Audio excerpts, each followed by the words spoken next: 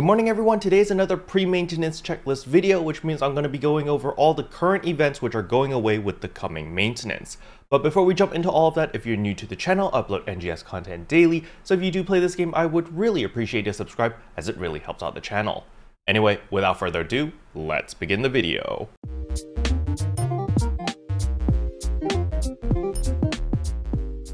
Alright, so the first most obvious one is going to be the New Year's 2023 Seasonal Point event. So if we look at our event lady over here, and if we go to exchange seasonal points over here, you'll notice there's a little bracket saying until January 18th. Now maintenance is January 11th. However, after January 11th, you will no longer be able to earn seasonal points. You can still spend the seasonal points at the seasonal shop until the 18th, but you won't be able to earn any more. So as I said in my previous videos before, if you wanted to buy all of the minerals, you are looking at 5 million seasonal points. However, the bare minimum that I would recommend most people is to at the very least buy out all the Infernium, which only costs 400,000 seasonal points. Under normal circumstances, even in an unorganized group, that will take you about 4 hours of PSE bursting. However, if you're not very fond of PSE farming, you could also do the practice drill snowfield workup. Now, I do recommend doing rank 5 and I do recommend doing this at least once because you do get 10 special scratch tickets. Now, a lot of people might be undervaluing these special scratch tickets. As you can see here, I've got 464 of these special scratch tickets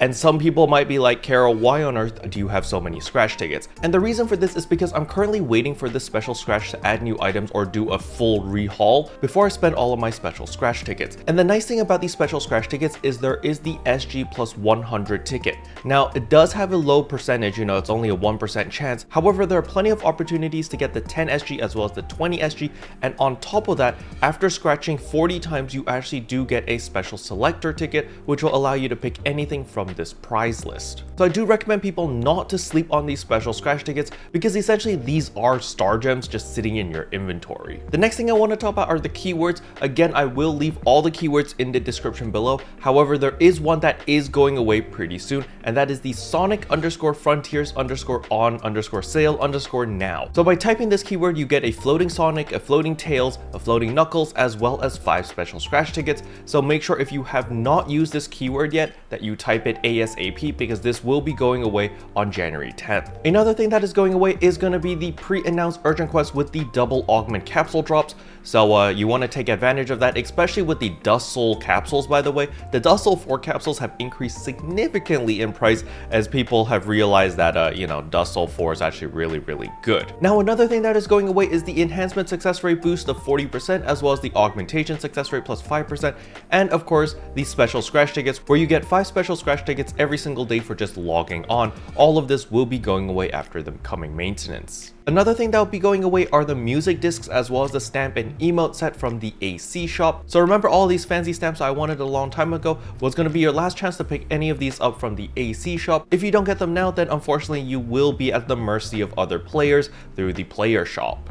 Next up is the AC points purchase boost. So this is the thing where Sega will match the amount that you top up. So Sega will pick 200 winners and based on how much AC they topped up, they will match it by 10%, 30%, 50%, and 100%. So if you are planning to top up now is probably a good time because don't forget you can double dip with the ARKS Cash Super Sale that's going on right now. Now the ARKS Cash Super Sale does not end until February 8th, so you have plenty of time if you want to hold off in case there's just nothing that you want right now. So please don't feel pressure to spend any money money. And last but not least are the AC scratches. There are a lot of AC scratches which are going away. So as we can see, the Remix line is going away, the Reminiscent Collection 3, the Rewind Collection 8, the New Year's Memories, as well as the Crystalline Concepts. All of these scratches will be going away with the coming maintenance. So if you want anything from these scratches, please make sure to pick them up before they go away. Now with all of that out of the way, what should you be looking forward towards next week? Well, the first thing is we are going to be getting a new ARKS Record Challenge. So as we can see here, upcoming events, this begins in 2 days and 18 hours. We will have the Ordinal Tower Rank 7 solo version as well as party version. I believe Sega has finally fixed all the bugs, so hopefully when we do the Ordinal Tower this time, all of our scores are going to be saved. However, the big thing is going to be the winter seasonal event, because in that seasonal shop, we are going to be able to pick up Mastery 4 capsules as well as Gigastat 4 capsules, so that is going to be the main attraction, so a lot of people are going to be incentivized to do a ton of grinding starting from next week.